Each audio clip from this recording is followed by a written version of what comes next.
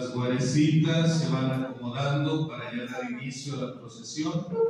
Van ocupando el lugarcito, despejen el pasillo central, por favor.